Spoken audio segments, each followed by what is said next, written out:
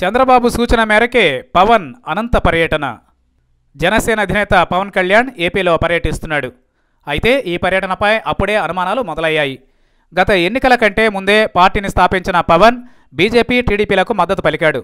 రాష్ట్రం కోసం చంద్రబాబుకు మద్దతు ఇవ్వక తప్పడం లేదని పలుమార్లు బహిరంగంగానే చెప్పాడు. మద్దతు వరకు బాగున్నా నాడు మద్దతు పలికి ప్రచారంలో ఉండగా అనేక వాగ్దానాలు చేశాడు. ప్రశ్నించడం కోసం పార్టీ అని జనసేన పార్టీని తెరపైకి తీసుకొచ్చాడు. కానీ పవన్ అలా ప్రశ్నించడం మాని టీడీపీ ఇచ్చే ప్యాకేజీలకే అమ్ముడుపోయాడనే ఆరోపణల్ని మూటగట్టుకున్నాడు. ప్రభుత్వ పాలనపై ప్రతిపక్షాలు కార్నర్ చేసే సమయానికి చంద్రబాబుకు మద్దతు పలుకుతుండడం ఆ ప్యాకేజీ ఆరోపణల్ని నిజమని నమ్మేలా పవన్ వ్యవహరించడం గమనార్హం. సమస్య ఏదైనా ఉంటే పరిష్కారం దిశగా అడుగులు వేయాల్సిన జనసేనానే చంద్రబాబు దగ్గర ప్రస్తావించడం ఆ సమస్యను పరిష్కరించడమో లేక సమస్య పోయేలా చర్యలు చేపడుతుంది ప్రభుత్వం. ఇక రెండు వేల పంతొమ్మిది ఎన్నికల లక్ష్యంగా వైసీపీ అధినేత జగన్ పాదయాత్ర చేస్తున్న విషయం తెలిసిందే. పాదయాత్రలో భాగంగా ప్రస్తుతం నెల్లూరు పర్యటన చేస్తూ ప్రజా సమస్యల్ని తెలుసుకునే ప్రయత్నాలు చేస్తున్నాడు.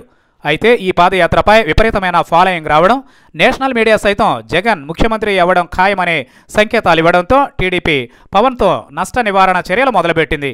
ఈ చర్యల్లో భాగంగా టీడీపీ వ్యతిరేక ప్రాంతాల్లో పవన్ పర్యటించేలా షెడ్యూల్ ఖరారు చేసినట్లు టాక్.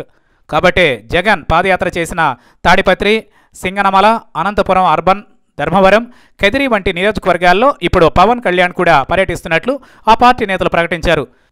ఇక్కడ విశేషం ఏంటంటే పవన్ పర్యటన చేస్తున్న ప్రాంతాల్లో వైసీపీ ప్రాభవం ఎక్కువగా ఉన్న టీడీపీకి మాత్రం వ్యతిరేకత ఎక్కువ.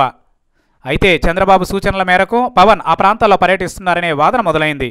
మరి ఆ వాదనను నిజం చేస్తూ సీఎం చంద్రబాబును మోసేస్తాడా లేక కరువుపై పరిష్కారం చూపుతాడా లేదా అనేది తెలియాల్సి ఉంది.